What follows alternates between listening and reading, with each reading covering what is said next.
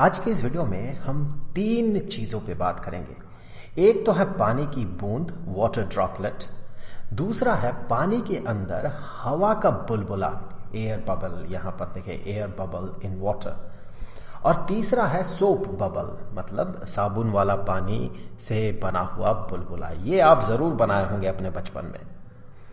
साबुन का पानी में एक छोटा सा रिंग डुबो के फिर उसमें फूंक मार के इस तरह का बुलबुला बनाना आपने ज़रूर किया होगा। तो इन तीन चीज़ों पे हम बात करेंगे और हमारा जो मेन मुद्दा होगा, सबसे पहला तो ये कि देखिए, इन तीनों का जो शेप है, इन तीनों के शेप को आप गौर करें। हमेशा अगर ग्रेविटी का इफ़ेक्ट जो है, इसे हम इग्नोर करें तो हमेशा हम ये पाते हैं कि ये स्फेरिकल होता है।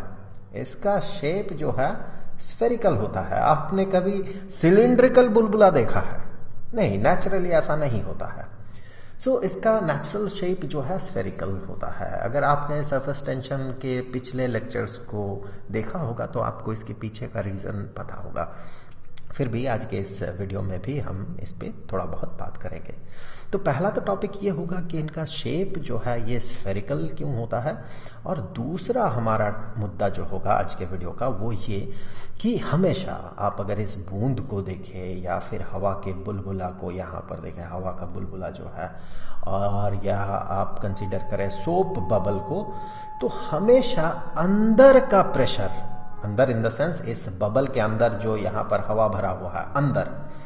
अंदर का प्रेशर चाहे आप ये बूंद इसे कंसीडर करें तो इसके अंदर जो पानी है, अंदर की बात करें हम, अंदर के स्पेस जो है, वहाँ पर प्रेशर जो है, अंदर हमेशा ज़्यादा होता है।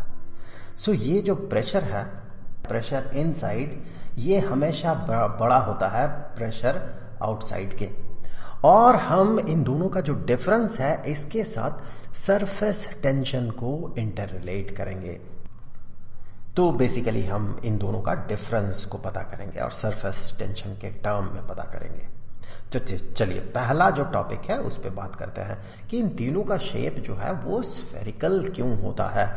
तो यहाँ हमें, हम इसे दो तरीके से एक्सप्लेन कर सकते हैं।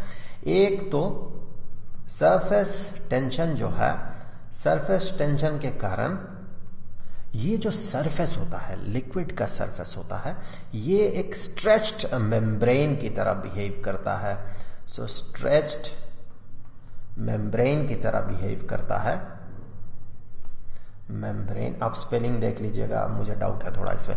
चलिए स्ट्रेच्ड मेम्ब्रेन की तरह बिहेव करता है, इसीलिए क्या होता है? हमेशा जब भी आप किसी मेम्ब्रेन को स्ट्रेच करें तो हमेशा उसका जो टेंडेंसी होता है, वो होता है कि छोटा होना। तो यहाँ पर भी इसका जो सरफेस है, इस सरफेस का जो प्रॉपर्टी होगा, यहाँ पर इसका जो सरफेस है सरफेस हमेशा हमेशा वो कॉन्ट्रैक्ट करने का कोशिश करता है, यहाँ पर वाटर का जो सरफेस है। और यहाँ पर जो एयर बबल को अगर आप देखें तो ये एयर बबल जो है, यहाँ भी हवा के साथ, अंदर जो यहाँ पर हवा है और उसके चारों तरफ़ ये देखिए पानी का ही सरफेस होगा क्योंकि ये तो पानी सो so, पानी का ही सरफेस होगा जो हवा के कांटेक्ट में है। तो यहाँ भी आपको एक सरफेस मिलेगा पानी का सरफेस मिलेगा। आप बहुत छोटा हो रहा है ये फिगर तो आपको शायद ठीक से दिख नहीं रहा होगा। मैं बाद में इसे बड़ा ड्रॉ करूँगा जब इसमें डिस्कस करेंगे हम लोग।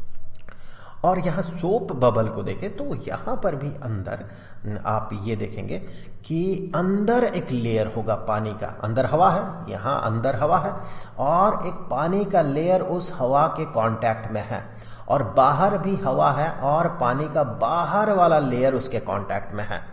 तो यहाँ पर पानी का दो सरफेसेस ये जो बुलबुला है, इसका दो सरफेसेस है। एक तो अंदर वाले हवा के साथ कांटेक्ट में है और दूसरा बाहर वाले हवा के साथ कांटेक्ट में है। तो इन सरफेसेस का टेंडेंसी होता है कॉन्ट्रैक्ट करना। अपना जो सरफेस एरिया है, उसे मिनिमम बनाना। तो सेम वॉल्यूम की अगर हम बात करें, एक ही वॉल्यूम में अगर बहुत सारे अलग अलग शेप्स हम कंसीडर करते हैं, जैसे कि अगर मान लें हम एक एक कंसीडर करते हैं क्यूब एक कंसीडर करते हैं सिलेंडर एक कंसीडर करते हैं कोन और एक कंसीडर करते हैं स्फेयर सेम वॉल्यूम के एक स्फेयर है ये.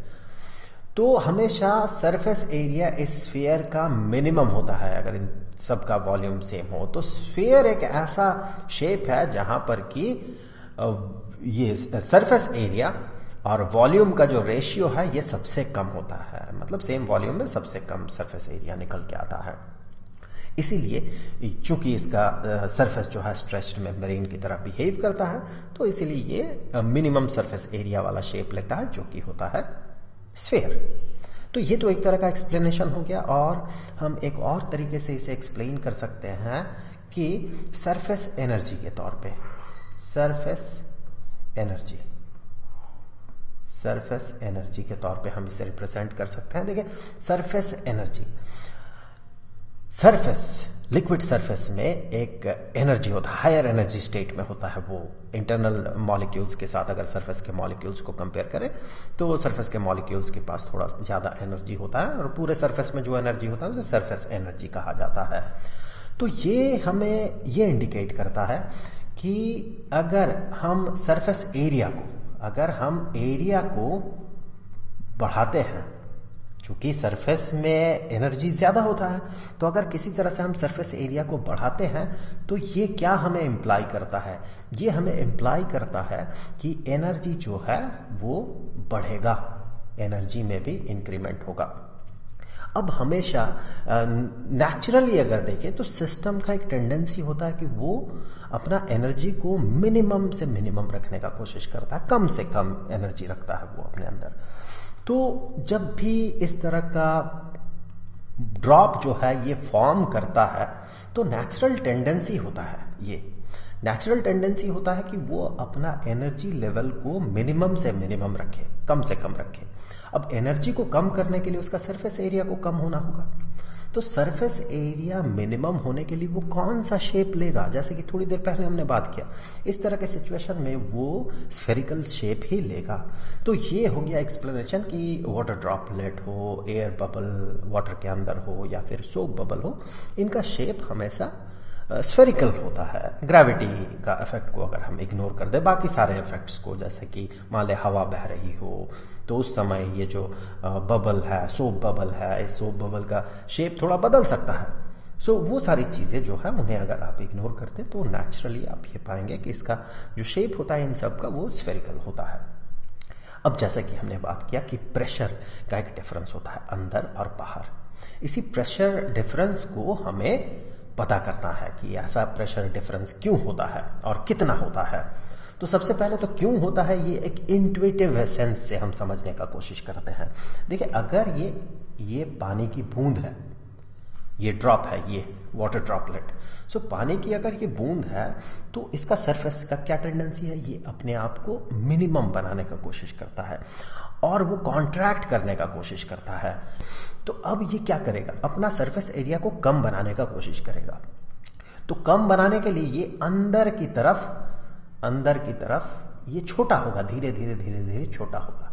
तो ये जब थोड़ा सा छोटा होगा, थोड़ा सा छोटा हो गया, अंदर की तरफ़ सरफेस चला गया। तो जब ये छोटा हुआ तो ऑब्वियसली यहाँ का जो मॉलिक्यूल्स था, यहाँ पर जो मॉलिक्यूल्स था, वो अब ज़्यादा डेंस हो गया यहाँ पर। थोड़ा ज़्यादा टेंस हो गया। तो ये हमें क्या इंडिकेट कर रहा है? ये इंडिकेट कर रहा कि यहाँ का प्रेशर जो है, ये प्रेशर इंक्रीज कर गया।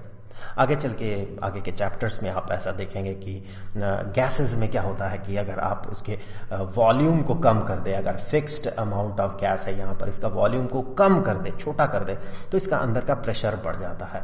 वही चीज़ यहाँ भी लागू होगा, अगर हम यहाँ पर वॉल्यूम को कम कर देते हैं तो यहाँ पर प्रेशर बढ़ जाता है। तो ये तो हमारा इंट्यूटिव सोच है कि इस कारण से प्रेशर जो है अंदर का ज़्यादा होता है। एक बार बबल का भी रीजन देख ले। बबल के अंदर प्रेशर क्यों ज़्यादा होता है? सोप बबल के अंदर। तो आप अगर गौर करें सोप बबल एक ऐसा स्ट्रक्चर है, इसी में मैं ड्रॉ कर देता हूँ। सोप बबल एक ऐसा स्ट्रक्चर है, जिसमें कि दो सरफेसेस होते हैं। एक तो अंदर वाला सर्फेस जो अंदर वाले एयर के कांटेक्ट में कांटेक्ट में है, और दूसरा जो बाहर वाले एयर के कांटेक्ट में है। तो यहाँ पर ये बाहर वाला सरफेस ये भी कॉन्ट्रैक्ट करने का कोशिश कर रहा। और अंदर वाला सरफेस ये भी छोटा होने का कोशिश कर रहा। तो ऑब्वियसली दोनों का इफ़ेक्ट यहाँ पर होगा। दोनों छोटा हो रहा। छोटा हो रहा मतलब ये अंदर की तरफ़ पुश कर रहा।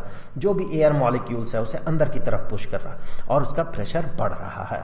और आप इस बबल में भी एयर बबल इनसाइड वाटर यहाँ पर भी आप वही देखेंगे। अगर मान लें ये पानी इस जगह पे पानी है और यहाँ पर एयर बबल बन रहा है। तो ऑब्वियसली ये जो सरफेस किसका होगा? यहाँ पर पानी है। ये पानी है वाटर और यहाँ पर एयर है।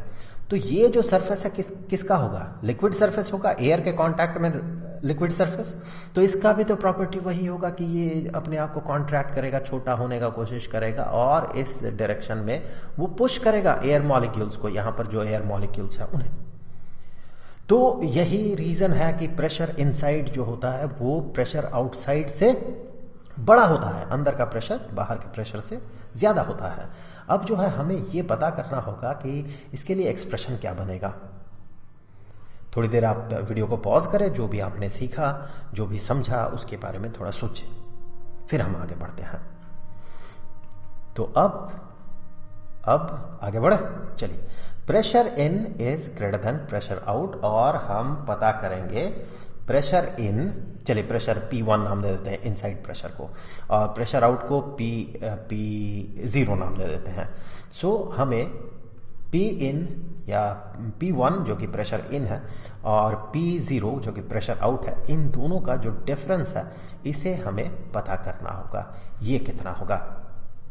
तो देखिए इसके लिए हम क्या करेंगे? इसके लिए हम एक बार इस बबल को ड्रॉ कर लेंगे। माफ़ कीजिएगा बबल नहीं ड्रॉपलेट जो है ड्रॉपलेट को हम ड्रॉ कर लेंगे। पहले हम इसके लिए बनाएँगे इक्वेशन और सेम इक्वेशन इसके लिए भी होगा। हम आगे थोड़ी, थोड़ा बहुत बात करेंगे इस पर और इसके लिए फिर उससे आगे हम इक्वेशन बना देंगे। सबसे पहले हम वाटर ड्रॉपलेट के बारे में बात करेंगे। तो एक ड्रॉपलेट यहाँ पर बनाते हैं। चलिए, हमने एक वाटर ड्रॉपलेट यहाँ पर बनाया। वाटर ड्रॉपलेट चलिए, ये हो गया हमारा वाटर ड्रॉपलेट पूरा मैं कोशिश करूँगा स्फेरिकल जैसा बने। तो ये हो गया वाटर ड्रॉपलेट ऐसा। अब क्या होता है कि हम क्या करते हैं कि देखते हैं इसके अंदर प्रेशर कितना है। हमने प्रेशर इनसाइड को क्या नाम दिया था? पी पी वन और आउटसाइड प्रेशर को हमने क्या नाम दिया था? पी ज़ीरो तो इनसाइड प्रेशर पी वन है आउटसाइड प्रेशर पी ज़ीरो है। इन दोनों का डिफरेंस हमें पता करना है। तो सबसे पहले तो चलिए हम ये मान लेते हैं कि इसका जो रेडियस है रेडियस है, इस इस ड्रॉपलेट का रेडियस जो है, ये रेडियस आर है। अब देखिए हम क्या करेंगे? अब हम क्या करेंगे? इसका वॉल्यूम थोड़ा सा बढ़ाएँगे। कैसे? यहाँ पर थोड़ा सा पानी हम इंजेक्ट कर देंगे। बहुत ही कम नेग्लिजिबल अमाउंट में पानी हम इंजेक्ट कर देंगे। लेकिन उससे पहले मैं आपको बता दूँ कि ये जो सरफेस है, पानी का जो सरफेस है, उस सरफेस का surface energy per unit area वो जो है, वो सरफेस टेंशन के ही बराबर होता है। So this is surface tension क्या है ये? ये surface energy per unit area है। सो so, मैं यहाँ पर एक बार लिख दू। Surface energy per unit area surface energy energy per unit area पर पिछले वीडियोस में हमने इस पर बात किया था। पर यूनिट एरिया जो है ये सरफेस टेंशन के ही बराबर होता है। That is same as surface tension surface tension ये दोनों सेम होता है। और इसके लिए चलिए हम सिंबल यूज़ करेंगे। एस यूज़ कर लेते हैं। एस और यहाँ पर सिग्मा की जगह मैं एस लिख दूँ। और एस जो सरफेस टेंशन है ऑब्वियसली ये लिक्विड जो पानी है लिक्विड है। लिक्विड और ये जो है, ये एयर है। बाहर जो है एयर है। सो लिक्विड एयर ये जो इंटरफेस है, पानी का जो सरफेस होगा, ये जो इंटरफेस है, ये लिक्विड एयर इंटरफेस होगा। तो surface tension for liquid air interface तो ये जो सरफेस टेंशन है, इसी को हम surface energy per unit area भी कह सकते हैं। तो यहाँ पर इसका जो सरफेस बना है, वहाँ पर जो एनर्जी है एनर्जी पर यूनिट एरिया वो इतना है। इतना है। अब अब देखिए, हमने क्या किया था? हमने थोड़ा सा पानी यहाँ पर, पानी डाला, थोड़ा सा, बहुत कम। उसके कारण इसका जो जो वॉल्यूम होगा वॉल्यूम थोड़ा सा बढ़ेगा। नेग्लिजिबल अमाउंट में बढ़ेगा। और वॉल्यूम भी थोड़ा सा बढ़ेगा बहुत थोड़ा बढ़ेगा। ऑब्वियसली इसका रेडियस भी थोड़ा सा बढ़ेगा।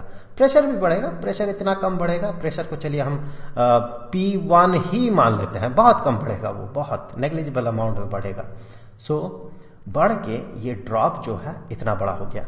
अब जो है इसका रेडियस जो है this radius is R plus बहुत छोटा अमाउंट में बढ़ा नहीं है तो हम इसे कहेंगे R plus D R D R is a very small value बहुत छोटा बढ़ा है तो आप गौर करें यहाँ पर क्या क्या हो रहा है। सबसे पहले तो देखिए यहाँ अंदर जो सरफेस एनर्जी होगा let say that is E one और बाहर बढ़ने के बाद ये जो लिक्विड ड्रॉपलेट जो बढ़ गया, पानी का ड्रॉपलेट जो बढ़ गया तो बढ़ा तो उसका सरफेस एरिया भी तो बढ़ा ना। तो सरफेस एरिया बढ़ेगा तो ऑब्वियसली उसका एनर्जी बढ़ेगा। तो अब जो है एनर्जी बढ़ के ये हो गया ई e टू क्योंकि surface area per unit surface energy per unit area जो है दिस वन ये है। तो ऑब्वियसली एरिया बढ़ेगा तो फिर टोटल एनर्जी बढ़ेगा। तो यहाँ पर एनर्जी में इंक्रीमेंट हुआ क्योंकि हमने वॉल्यूम को बढ़ाया, जिसके कारण सरफेस एरिया बढ़ा। बहुत ही थोड़ा सा अमाउंट पे हमने पानी इसमें मिलाया था। और क्या क्या हो रहा देखें? तो ये जो एनर्जी बढ़ा, कहीं से तो एनर्जी मिला इसको? कहाँ से मिला होगा? आप गौर करें, यहाँ पर ये प्रेशर प्रोवाइड कर रहा है। ये जो है प्रेशर जो है P1 P0 से बड़ा है। दैट मीन एक नेट प्रेशर आउटवर्ड ये काम कर रहा है। तो यहाँ पर ये जो प्रेशर है प्रेशर के कारण एक फोर्स क्रिएट हो रहा। Pressure into this surface area is force अब उस फोर्स के कारण इसमें एक डिस्प्लेसमेंट हो रहा, हर एक मॉलिक्यूल को देखे। ये यहाँ से यहाँ पहुँच गया। सिमिलरली ये मॉलिक्यूल यहाँ से यहाँ पहुँच गया। तो कितना डिस्प्लेसमेंट हुआ हर एक मॉलिक्यूल में? हर एक मॉलिक्यूल में डिस्प्लेसमेंट हुआ दिस अमाउंट ऑफ़ लेंथ कितना है वो? वो है डी आर पहले आर था, अब आर प्लस डी आर हुआ तो चेंज कितना हुआ लेंथ में? या हर एक मॉलिक्यूल कितना डिस्टेंस ट्रेवल किया? डी आर तो एक फोर्स के कारण डिस्प्लेसमेंट हुआ तो यहाँ पर वर्क डन होगा। तो वही वर्क डन वाला जो एनर्जी है, जितना काम इस सिस्टम ने किया इसे एक्सपैंड करने में तो वही काम तो यहाँ एनर्जी के तौर पे स्टोर्ड होगा। So E one minus E two वही काम तो होगा। तो वहाँ से हम इक्वेट कर सकते हैं और प्रेशर के साथ सरफेस टेंशन को इंटर रिलेट कर सकते हैं।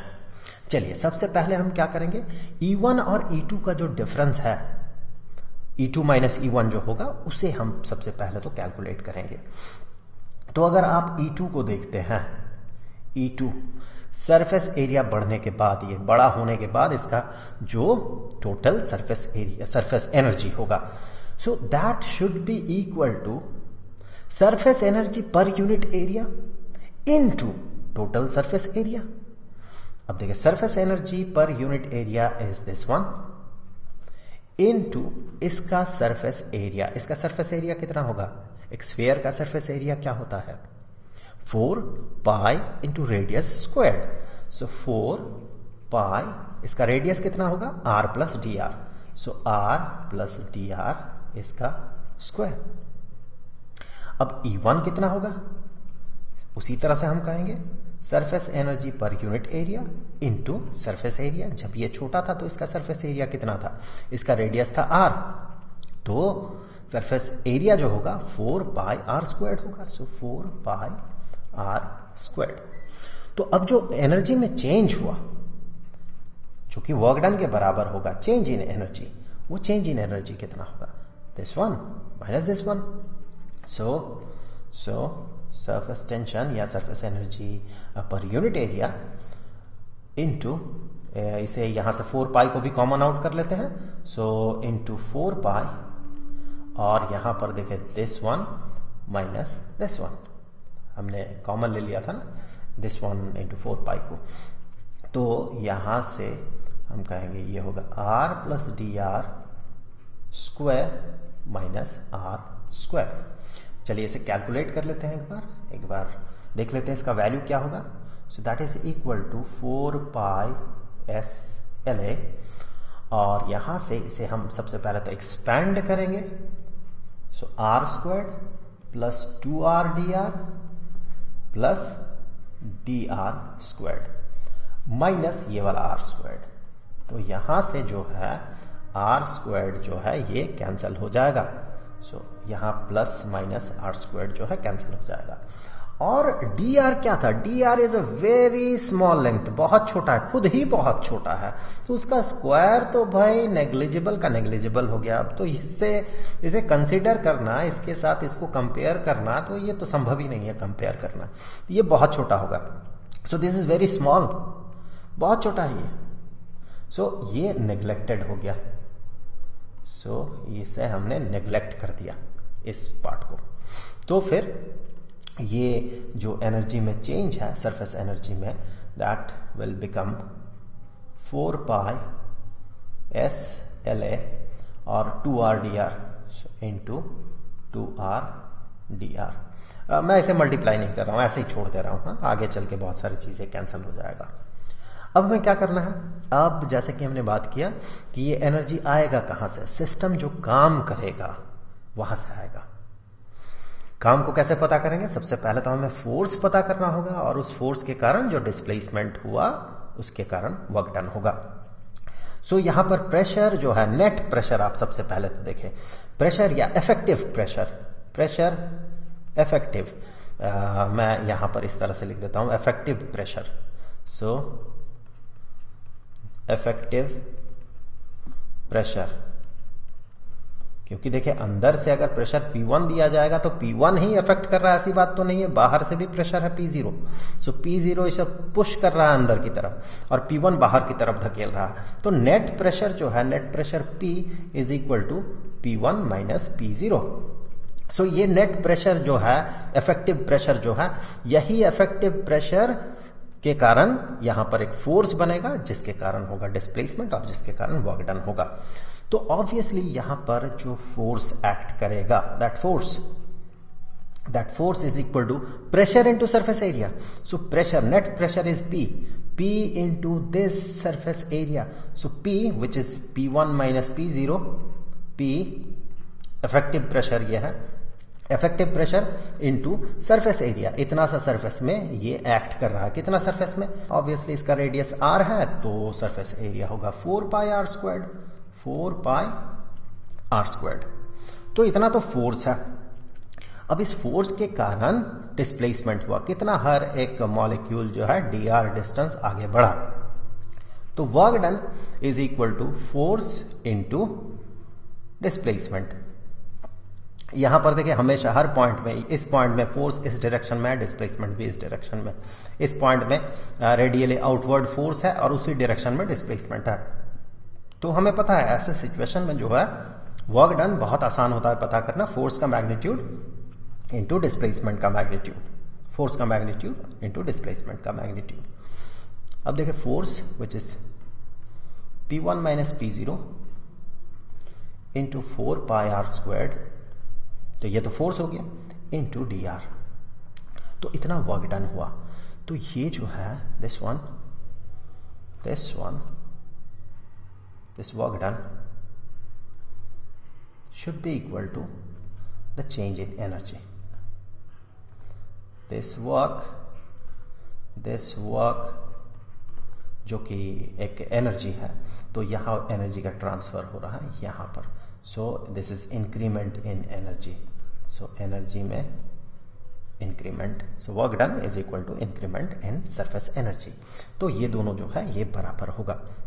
तो अब यहाँ से हम कहेंगे, ये दोनों अगर बराबर हुआ so P one minus P zero into four pi R square D R is equal to यहाँ से इसे लिखते हैं four pi S L A into two R D R तो सबसे पहले तो हम यहाँ से कैंसिल करेंगे, ये टी आर टी आर और फिर यहाँ आर आर स्क्वाड के एक आर को कैंसिल किया। अब यहाँ फोर फोर कैंसिल कर देते हैं पाई पाई कैंसिल कर देते हैं। तो अब अब यहाँ से आगे, यहाँ से आगे हम कहेंगे कि P1 one minus P zero P one minus P zero is equal to is equal to यहाँ एस एल ए टू और ये आर डिनोमिनेटर में जाएगा।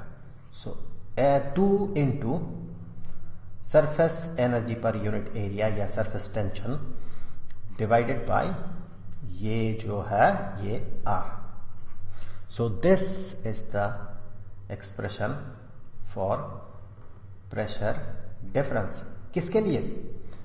ड्रॉपलेट के लिए। So this is for droplet for droplet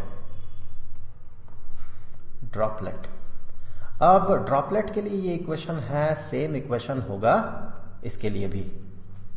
Air bubble inside water so एक बार situation को देख लेते हैं. कुछ ऐसा मान ले, यहाँ पानी है. ऐसा पानी है ये. और अंदर एक एक यहाँ पर बबल फॉर्म कर रहा है एयर बबल ऐसे। तो आप गौर करें कि यहाँ पर यहाँ पर ये जो सरफेस है दिस सरफेस ये एयर के कांटेक्ट में है, ये कॉन्ट्रैक्ट होने का कोशिश कर रहा है। सेम सिचुएशन होगा अगर एयर है और यहाँ पर वाटर ड्रॉपलेट बने। एक वाटर ड्रॉपलेट अगर बनता है। सिचुएशन वही है, देखें। आप गौर करें, सिचुएशन वही है। यहाँ पर आपको ये मिलेगा सरफेस, यहाँ पर आपको सरफेस दिखेगा, जो कि पानी का सरफेस होगा। किसके कांटेक्ट में होगा? यहाँ एयर के कांटेक्ट में होगा, यहाँ पर एयर है। तो यहाँ सरफेस टेंशन जो है, या surface energy per unit area S L A और यहाँ भी वही, देखे, वही है। वही वही सरफेस है सेम सरफेस और ये एयर के कॉन्ट्रैक्ट कांटेक्ट में है। सो so, यहाँ भी surface tension S L A और दोनों का टेंडेंसी होगा कॉन्ट्रैक्ट करना छोटा होना। ये भी इस तरफ़ छोटा होना चाहता है। और ये ड्रॉपलेट भी या माफ़ कीजिएगा बबल भी यहाँ से प्रेशर मिलेगा तो ये भी छोटा होने का कोशिश करेगा सिचुएशन वही है। तो एयर बबल इन वाटर उसके लिए भी जो प्रेशर डिफरेंस होगा वो प्रेशर डिफरेंस इसी इक्वेशन से वो गाइडेड होगा। तो मैं अगर एक बार ड्रॉ ड्रॉ कर लेता हूँ सिचुएशन को यहाँ मैंने ड्रॉ किया था। सो ये जो था वो सिचुएशन था, ये। तो यहाँ पर भी अंदर का प्रेशर और बाहर का प्रेशर में एक डिफरेंस होगा। अंदर का प्रेशर P1 और बाहर का प्रेशर P2 टू P0 माफ़ कीजिएगा P0 सो P1 P0 से बड़ा होगा और P1 one minus P zero is this one this is for for air bubble also this equation is for air bubble in water पानी के अंदर हवा का जो बुलबुला है, उसके लिए भी सेम इक्वेशन है। लेकिन अगर आप इसको देखें सोप बबल को देखें तो सोप बबल के केस में क्या होगा देखें? सोप बबल ये है सोप बबल ओके लेकिन यहाँ पर इसका दो सरफेसेस होंगे। एक यहाँ पर भी सरफेस यहाँ पर एक अंदर सरफेस होता है ना अंदर वाले एयर के कांटेक्ट में। सो so, यहाँ पर एयर है और बाहर एयर है और ये जो है ये पानी है। सो so, ये जो है ये पानी है। थोड़ा कलर ठीक से ड्रॉ कर दो। ये पानी है। ये वाटर है। तो फिर आप गौर करें कि दो सरफेस के कारण यहाँ पर कॉन्ट्रैक्शन होगा। ये जो अंदर जाने का जो टेंडेंसी होगा, छोटा होने का जो टेंडेंसी होगा, जिसके कारण अंदर प्रेशर बनेगा, वो दो सरफेसेस के कारण होगा। ये जो बाहर वाला सरफेस है, बाहर वाला सरफेस का भी तो टेंडेंसी होगा अंदर की तरफ़ जाना, छोटा होना। तो ये तो एक प्रेशर क्रिएट करेगा। अब अंदर वाला जो सरफेस है, ये वाला सरफेस इसका भी टेंडेंसी होगा छोटा होना, अंदर की तरफ़ जाना।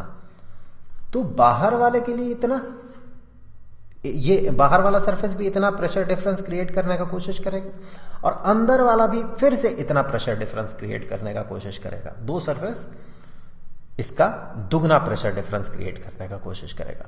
सो so, हम कह सकते हैं for soap bubble for soap bubble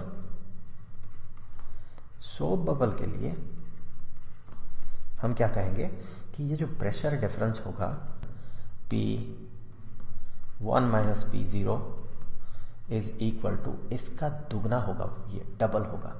Four into S L A divided by R. तो अब ये हमें प्रेशर डिफरेंस का इक्वेशन मिल गया फॉर सोप बबल। अगले वीडियो में हम कैपिलरी राइस पे बात करेंगे। जिस वीडियो का लिंक आपको यहाँ पर स्क्रीन में दिख जाएगा। अब जाते जाते मैं आपको बता दूँ कि इस पूरे चैप्टर का जो प्लेलिस्ट है, उसका लिंक आपको डिस्क्रिप्शन में मिलेगा। तो मिलेंगे आपसे अगले वीडियो में। तब तक के लिए खुश रहें। Good bye